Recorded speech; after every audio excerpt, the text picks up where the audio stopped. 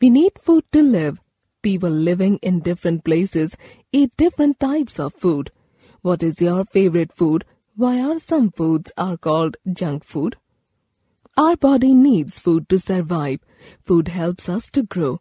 It gives energy to our body to do work. It also helps to maintain all body processes.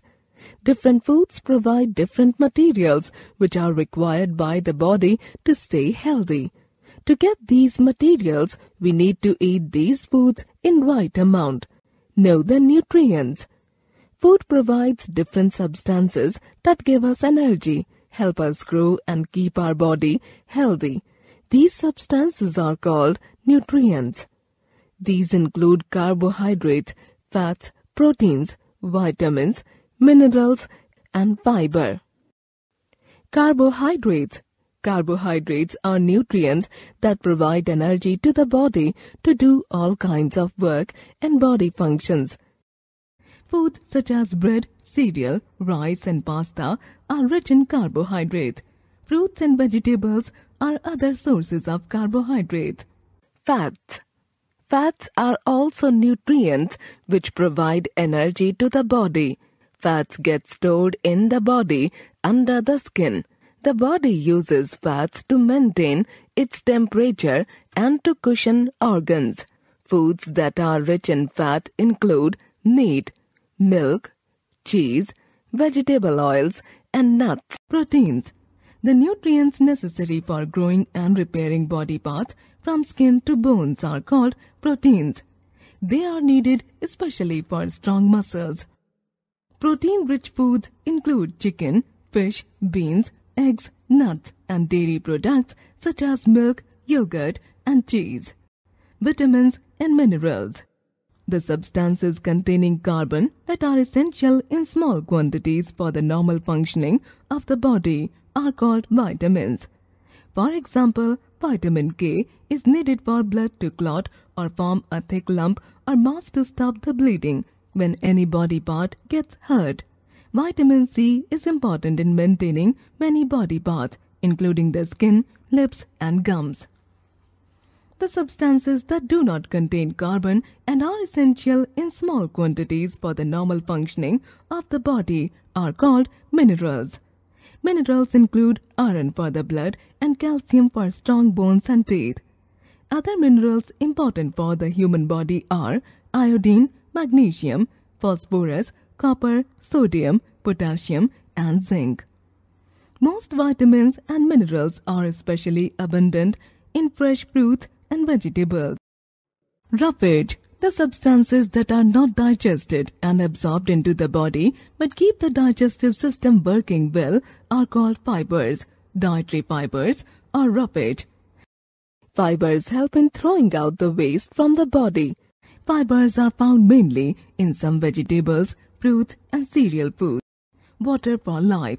The body also needs sufficient amount of water. Our body contains two-thirds water and this water constantly moves around in the body and gets used up. Many of the foods we eat contain water. It makes up most of our drinks as well. Balanced diet.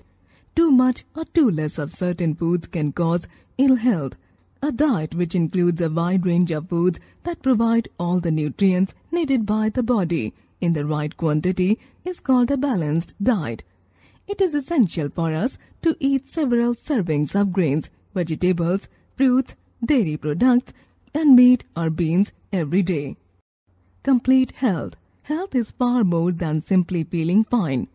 It includes a healthy and fit mind as well as body. Along with a healthy diet, exercise, sound sleep, and good posture are essential for complete diseases. A disease is the condition when one or more parts of the body are not able to function properly. A disease can be identified from specific signs known as symptoms. Injuries such as cuts, sprains, or bruises are not counted as diseases. Diseases are caused due to various reasons. Some diseases are caused by the lack of proper food. Some are caused by harmful substances consumed by the body. Diseases may be categorized under two main groups, non-communicable diseases and communicable diseases. non-communicable diseases. Diseases that don't spread from one person to another are called non-communicable diseases. Deficiency of vitamins and minerals may cause non-communicable diseases. So, these are also called deficiency diseases. Intake of too much fatty food and lack of exercise cause obesity. Dangerous non-communicable diseases such as cancer are caused by bad habits such as smoking. Communicable diseases Diseases that can spread from one person to another are called communicable diseases. These diseases can spread through air, water, and physical contact with others. Malaria, common cold, and pneumonia are some examples. Staying clean and maintaining a good hygiene helps in preventing such diseases. The practices and conditions that help to maintain good health and prevent the spread of disease are called hygiene brushing teeth twice a day, bathing, wearing clean clothes, and eating fresh food in clean plates come under hygiene. Communicable diseases are spread by microbes or germs such as bacteria, protozoa, and virus. These germs enter the body of a person through the mouth or nose. They may also enter the body through contaminated food and water. They may get into the body through cuts and bruises in the skin as well. Insects or pests such as cockroaches and flies carry germs from sewers and contaminate our food and water. This leads to diseases such as diarrhea, typhoid, and cholera.